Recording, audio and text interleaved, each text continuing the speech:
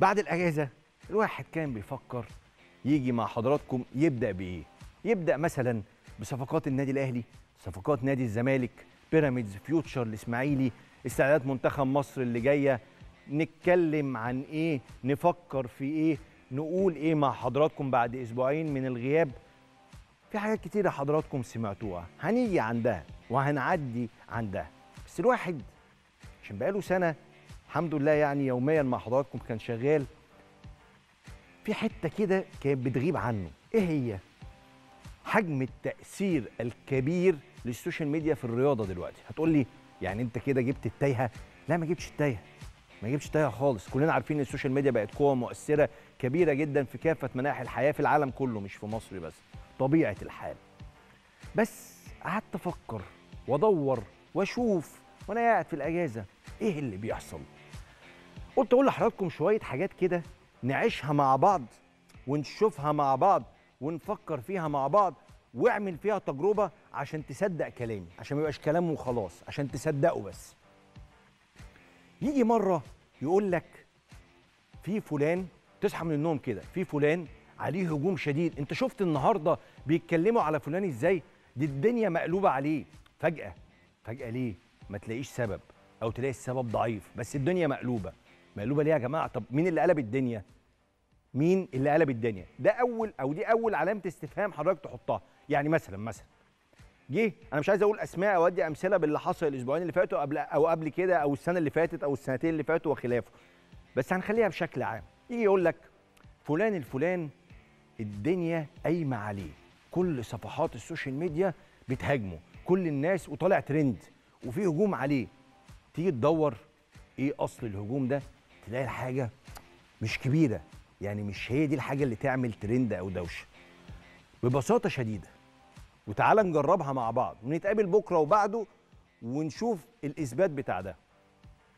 سين سين أو سين صاد. اسمه كده. سين صاد. النهارده الناس بتهاجم. روح كده دور على كل الصفحات. هتلاقيهم غالبا حاطين نفس البوست بنفس الكلام. بنفس الصورة. طيب هم كلهم اتفقوا؟ طيب هي الصفحة اللي عليها مليون ولا 2 مليون دول عارفين أو مش عارفين عفوا إن هم كده قاصدين يعملوا حاجة أو قاصدين يهاجموا فلان؟ لا قاصدين.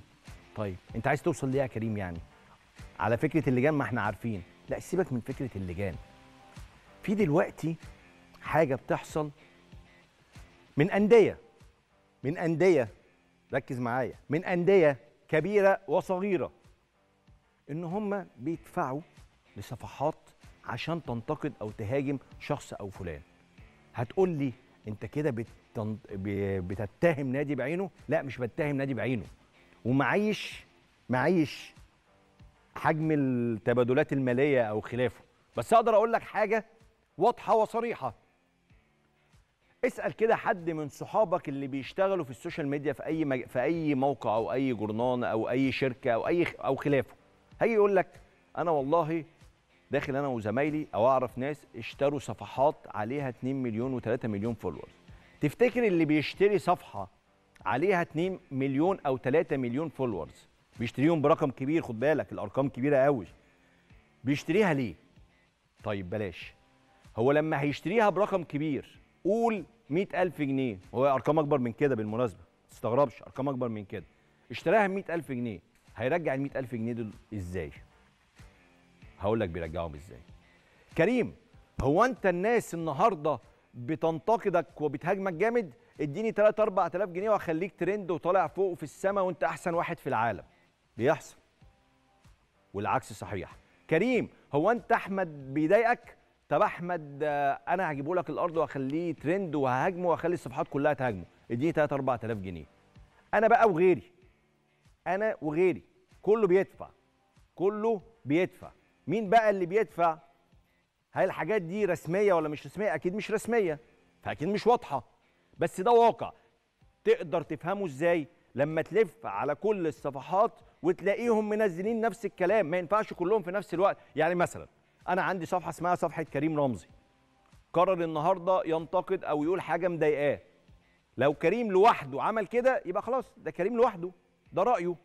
لكن لما تلاقي كريم وحسين ومحمود وصفحة مين بي آه النادي الفلاني اليوم ومحب النادي الفلاني وخلافه كلهم بيعملوا نفس الحاجة يبقى لازم تفهم إنها حاجة موجهة.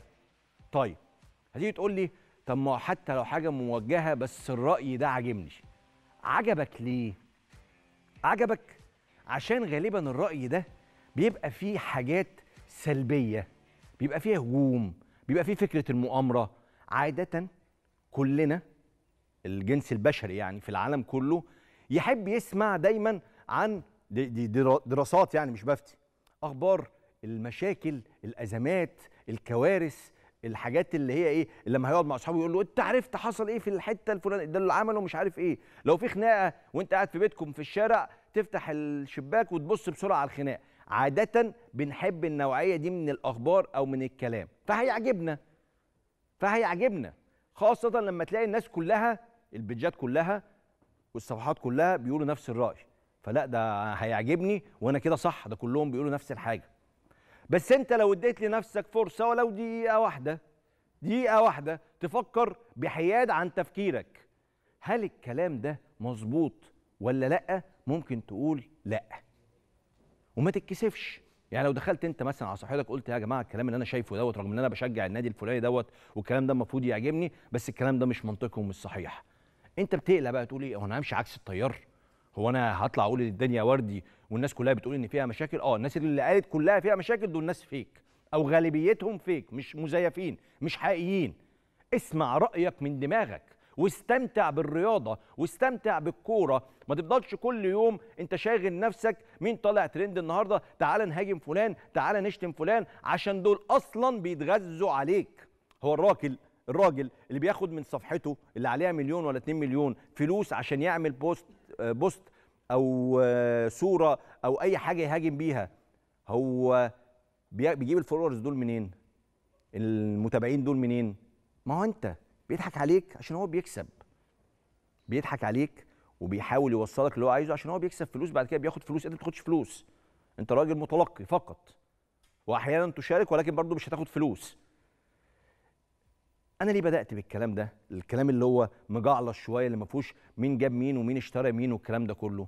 عشان نفسي وأنا جاي أشتغل النهارده وغيري بيشتغل وحضرتك وأنت بتتفرج على الرياضة ولا بتتفرج على الكورة تبقى قاعد مستمتع مش منزعج. مش كل يوم مين اتخانق مع مين ومين زعق لمين ومين شتم مين ومين كسر في مين. انت بتتفرج على الكوره عشان تستمتع تريح أعصابك تريح نفسيتك. عادة يعني الرياضة أو اللعبة هي حاجة المهم فيها إن أنت تبقى مبسوط مش تبقى منزعج. ببساطة شديدة. تبقى مبسوط. أنت متخيل أنت راجل أو ست أو أي شخص يعني أنت راجل حياتك مليئة بالهموم اليومية. زينا كلنا كلنا عندنا هموم يومية بمختلف الهموم كل واحد بقى عنده همومه الشخصية. فتيجي تتفرج على مباراة عايز تستمتع. تيجي تتفرج على برنامج رياضي رياضي فانت عايز تستمتع. ما هي دي رياضة لعبة فانت عايز تستمتع. انت مش داخل تتفرج على آه فيلم أكشن. تتفرج على حاجة ممتعة.